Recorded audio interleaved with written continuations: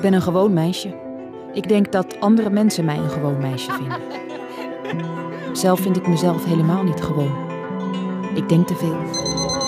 Met vragen hoe ik me voel. Ik voel, ik voel, ik voel, ik voel, ik voel, ik voel. Meer dan me lief. Kaarsime synnytä ollikin vattallani. Tässä mit onnet nyt näitä nyt maailmalla. Zijn